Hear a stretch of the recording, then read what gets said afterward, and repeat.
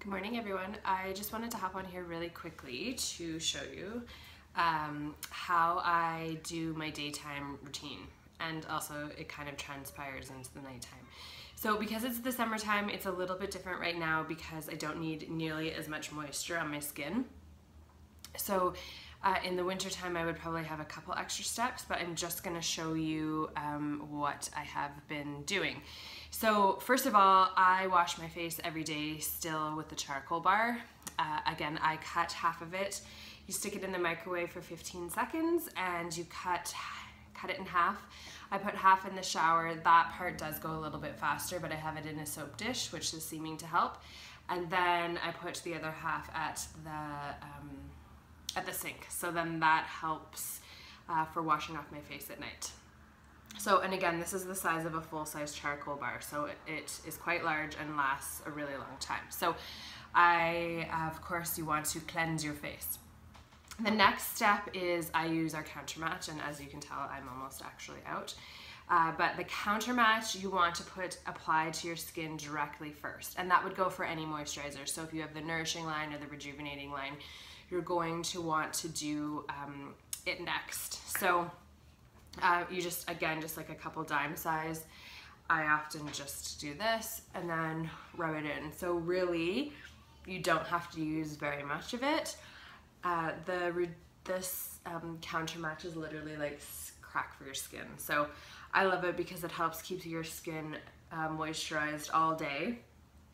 Uh, which is amazing. So right now we are adding um, the sort of prepping side to your skincare. So again, that is Countermatch. I love it. The next thing you're gonna wanna do is take your eye cream. So I am still currently using the Rejuvenating Eye Cream. There is a counter match eye cream coming up.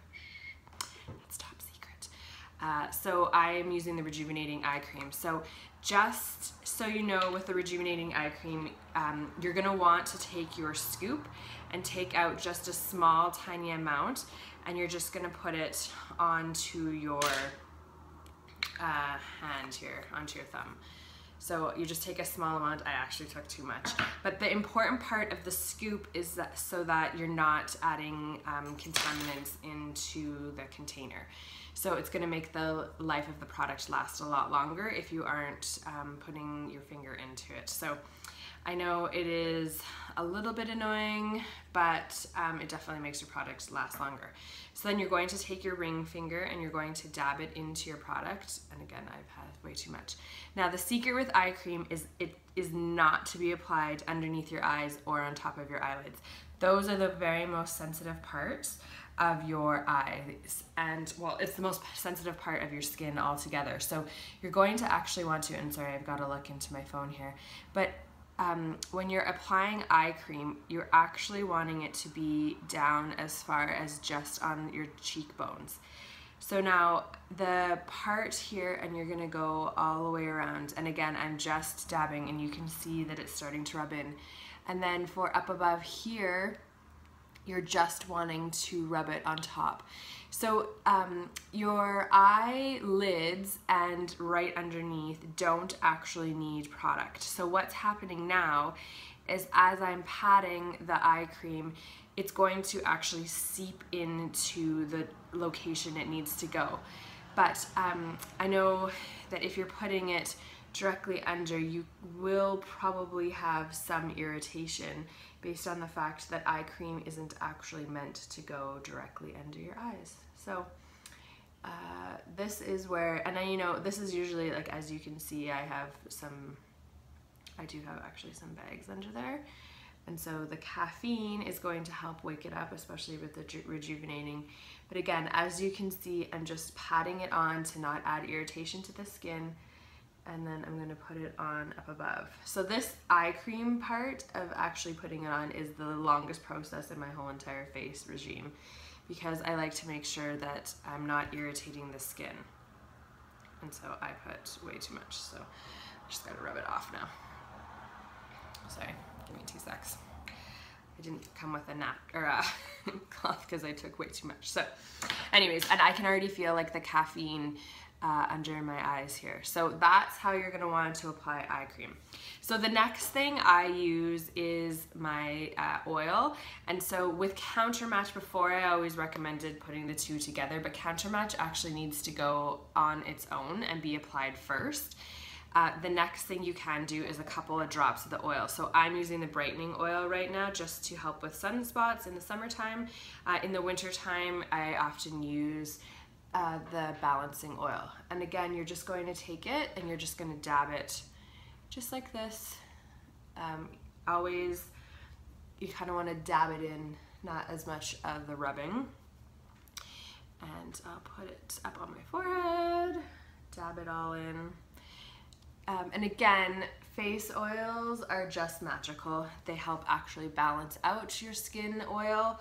Uh, so I know they sound always counterintuitive, but especially with the vitamin C in this, um, I will put, you know, a lot of my sunspots have actually sort of disappeared based on using my, the brightening collection. So I don't have nearly as many as I used to. So again, okay, so that was the face oil. So now I've just kind of dabbed that all in. So now I would typically give it a second um, I usually do the face oil at night. So this is part of my more of my nighttime routine just because I like to sleep on it. Um, if I'm not going anywhere and I don't need to put my makeup on immediately right after, I will put the face oil on. But again, more often than not, that's just what I'm doing at night. And again, I'll also rub it. Um, I actually forgot to put some lotion down there. So again, I just used the brightening. Uh, and then for my last bit, if I haven't used the oil, um, I am absolutely obsessed with the uh, balancing charcoal mist. And so I actually use it a couple times a day if I'm, especially I'm at home and I happen to walk upstairs, I will spray again. So the this is acting as a toner, it's acting as um, also just, well, I find it just actually balances out my skin. It's done magical things to my skin. So uh, but I would put it on before I put the makeup on and then now it's actually going to set my whole face. So uh, shake it up and then I actually have, usually my breakouts are here and here if I have any and sort of on my chin area. So I would do a couple sprays. Mm, it smells good. And then you just leave it sit for a sec and then now you're good to go. So um, again, you can now apply your makeup directly on. Just give the mist a couple seconds to set.